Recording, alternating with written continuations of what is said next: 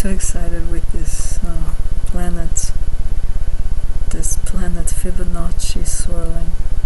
Now when we go to Mars, now Mars is there and it's doing its thing, and in 15 years time it makes a seven petal flower.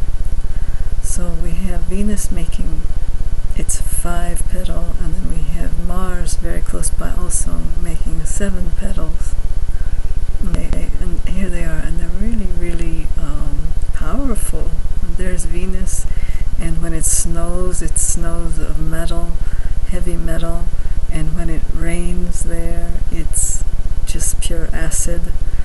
So it's a really strong, strong signal when you start to think about it. And, you, and then I start to think about the motherboard of a computer and all of those things that, that are so like resistor, resistor radio and that dielectric charge moment. So, so it's almost like they're sending out that tingle. I will say, I'll call it a tingle.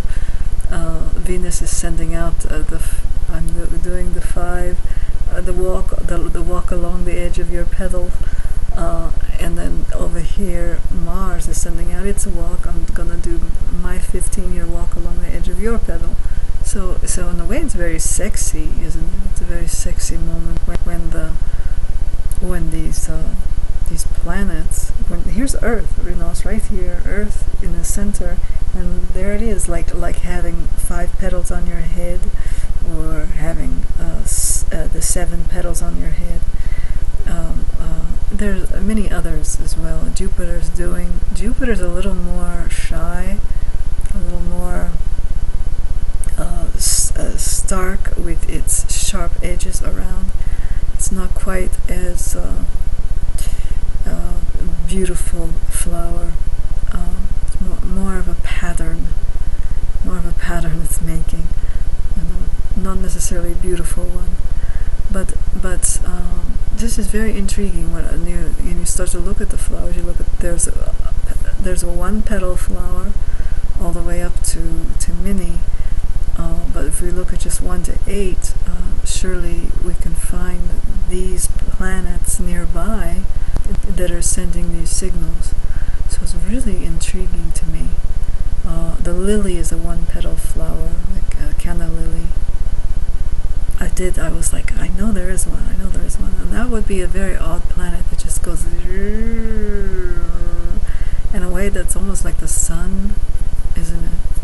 The sun itself. But, uh, yikes, what am I doing?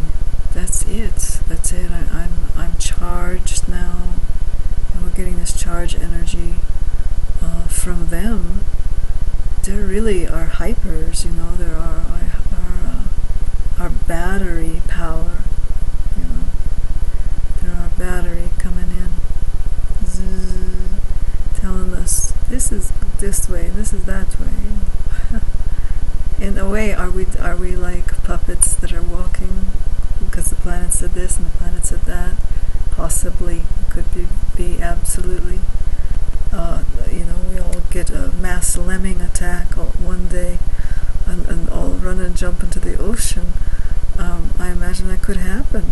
Um, these are very, very powerful, powerful planets. And yet they are staying so civilized, aren't they? When you look at their, their orbits, they're really staying civilized if they become more volatile, of course, well, it's going to be a big effect to us. Imagine as studies go out further and further and further, any volatility out there, it really is, uh, it's affecting everything, you know, here on this earth. What like world markets, you know, people want, don't want to be on the trade game. Or, you know, I think I think a lot of our lives uh, we are really being swayed and waved. You know, we're on this wave crest uh, much more than uh, we want to believe. We want to think we're in control of our life and da da big success machine, whatever. Nobody's gonna stop me, not a planet out in outer space.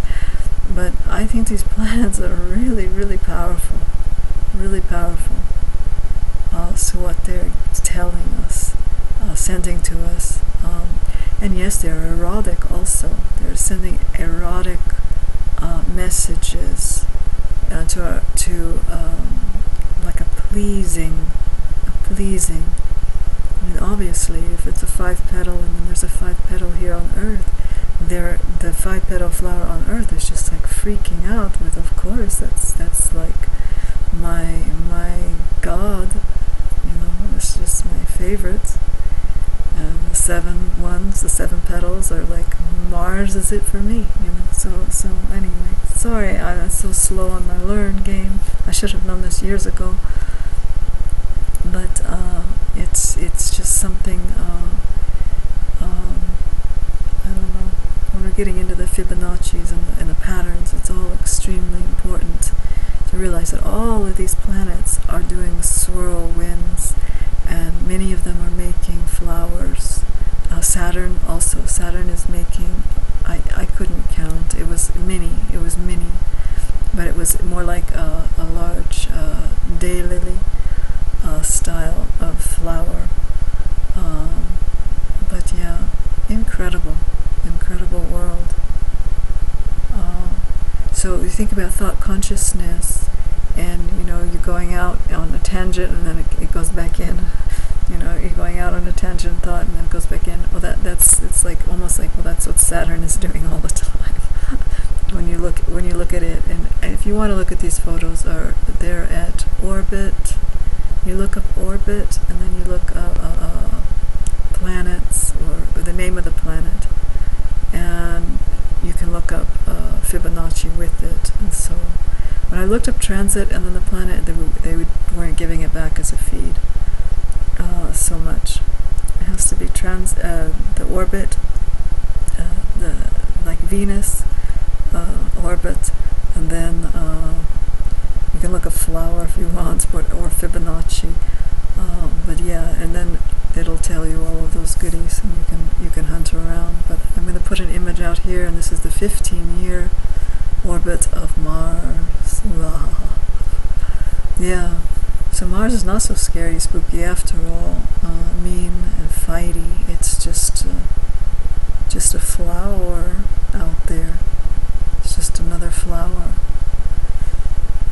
flower order, of flower power. All right, everybody. Well, Merry Christmas to those of you who are Christmasers, and uh, that's that.